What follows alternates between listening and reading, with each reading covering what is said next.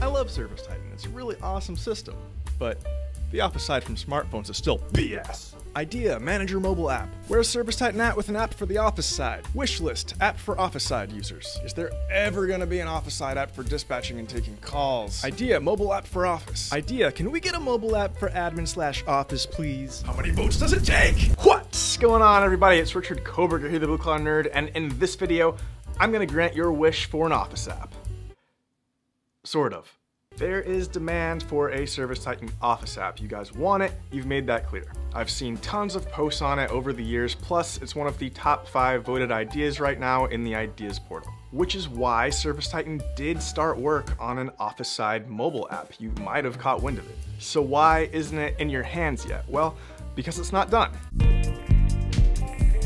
Oh, you wanna know why it's not done? Well, that's because the Field mobile app, the mobile app that technicians use, is also being rebuilt. And just because of the earthly reality that resources are finite, both apps, the Field and the Office app, can't be built simultaneously. We have to focus on one first and then the other. And the decision was made to focus on the Field mobile app first. After all, the Field mobile app is actually the most used piece of ServiceTitan. The vast majority of companies have more technicians and salespeople out in the field than they do office people working in the office. So most ServiceTitan users are actually field users, and for them, that field mobile app is 100% of their ServiceTitan experience. And their experience is due for a tune-up, really more like an overhaul. Plus, there's no alternative for them. 100% of their use is mobile use. But Richard, at least they have a functioning mobile app. The Office side has no functioning mobile app at all. Look, I get it. There's multiple ways of looking at it. I'm just trying to be as transparent with you as possible. This is what's going on. But the Office mobile app is also so important and you guys want it so bad. And I know from reading a bunch of your posts that a bunch of you are using the Office side of ServiceTitan on a mobile device anyway, which it's not designed for. That's gonna be a painful experience. For example, we just recently sunset the old customer and location page design, and I have a whole video where I address all of the critiques that I've seen about the new design. But there is one critique I did not address in that video, which is I've seen people complain that the new design is bad on a phone. And yeah, it's not designed to be used on a phone. Neither was the old page. Neither is this, this, this, this, this, this. None of this is meant to be used on a phone. I've even seen somebody come after my beloved Y'all program simply because this Office app isn't out yet, which is too far. That's, That's my son you're talking about. So here's what I'm gonna do. I'm gonna give you the unfinished Office app. There's a link in the description box down below where you can download it, but don't do it yet it is an unfinished app, so I wanna be really clear with you what it can and cannot do as it stands today.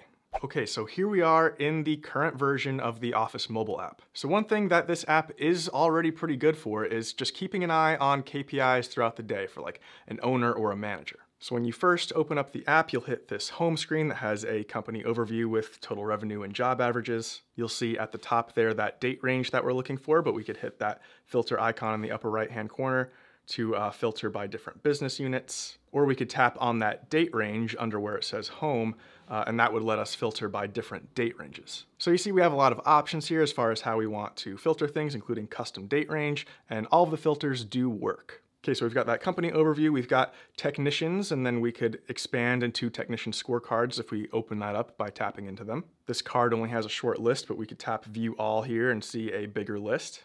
Again, we've got filters that all work. We can tap on either the filter icon in the upper right hand corner to filter by business unit, or there's also a little like head, a little person next to it. We can tap on that to filter by division. Back to the home screen, okay, so that was technician scorecards. We also have agent scorecards that work the same way. And then finally at the bottom we have stats for open estimates, which just shows us the number of open estimates we have and the total dollar amount of those open estimates. But there's nothing to drill into there yet. You can't do any follow-ups yet from this mobile app.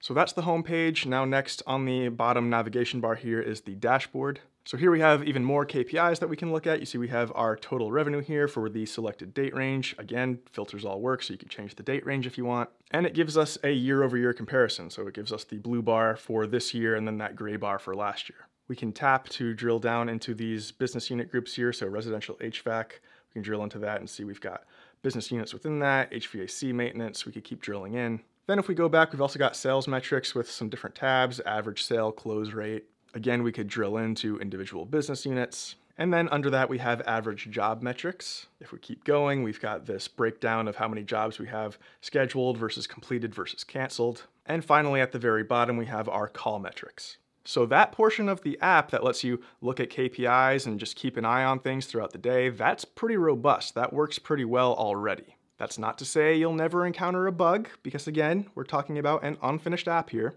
but relatively, considering that this is an unfinished app, that part is functioning pretty well. All right, next on the main navigation bar, we have the Schedule tab. So this is our dispatch board. So we can see all of the jobs that are scheduled. We can change the date that we're looking at by tapping the date in the upper left. And we can filter by business unit by tapping that filter icon in the upper right. Plus we have a refresh button there just in case we feel like something's out of date or something. Okay, now currently you notice I'm holding my phone vertically and you have to do some horizontal scrolling to see the whole dispatch board. Your instinct might be to turn the phone sideways. Nothing happens when you do that yet. So vertical view only right now. Now, if we tap into an appointment on the dispatch board, we get additional details. For example, we get the job number. It looks like something we can tap on, but if we tap on it, nothing happens. Unfinished app. We can see the tags, the bill to customer, the phone number, which tap to call doesn't seem to be working, at least on this example. We've got the address. We've got uh, Charles is the name of the technician that's assigned to this appointment. And we have this button that says edit appointment,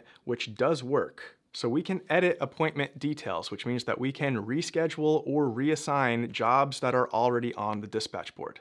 I'm phrasing that very carefully because we cannot yet book jobs from scratch. Nor can we access the jobs tray in order to assign technicians to jobs that currently have no technician assigned. But if the job is already on the board, we can make edits to that job and move it around. Although I do have to point out that's only the case for the iOS version of the app right now. So if you're using the Android version of this unfinished app, then you will not be able to reschedule jobs. But if you're using the iOS version, which is the version that I'm showing you here, then you will be able to. So you can see here, we can change the start date, arrival window, start time, end time. We can add or edit special instructions and reassign technicians.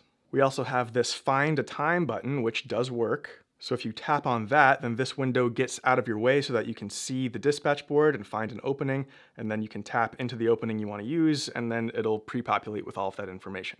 Then we could hit Save Changes, and then that reschedules the appointment. Okay, now next on the main navigation bar here at the bottom, we have the Search tab. Here we can search for customers. So you can see here we get our search results. Uh, we can see some information like emails and addresses, although we can't yet tap in to get even more details on the customer.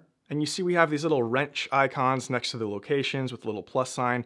That is where you will eventually be able to book new jobs from scratch. But if we tap on that right now, this customer happens to have a balance, that's fine. I'll say book job. But then we just get this page that says coming soon. So that part is not built out yet. Another thing that's not built out yet, you see in the upper right hand corner, we have this little plus with a little person icon. That's to add a new customer, but that part also not built yet.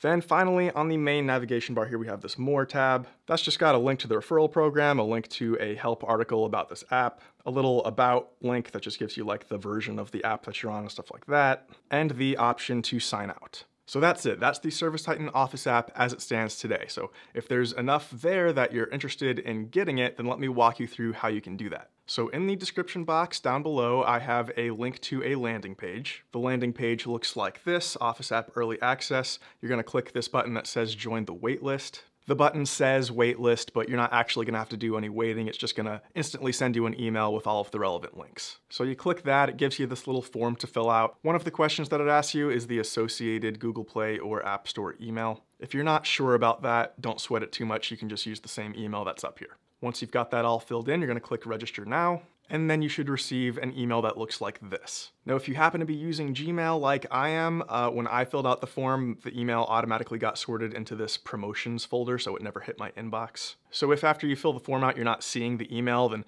check all those folders and things. Sometimes email clients will auto sort stuff. But inside this email, we've got a link to download the Office app on an Apple device or an Android device as well as a recap of some details about the app that I just went over with you, uh, and a link to the official help page. Now, in order to utilize these download links, you need to already be on the mobile device that you're trying to put the app on. So I've got this email pulled up on my computer here, but you should be looking at the email on your phone, on the phone that you're trying to put the app on. That way you can tap on the link, it'll open up the App Store and you can download it from there. To be clear, it's an unlisted app right now, so you do need the link in order to get to the right page to download it. If you just search for it in the App Store, you're not gonna find it. Even though this app is unfinished, I think there's enough there that a lot of people will find at least some utility in it.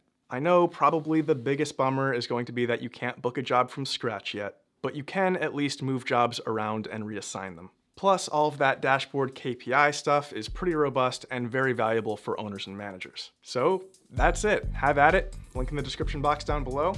I'll catch you guys in the next one. Appreciate it. Peace.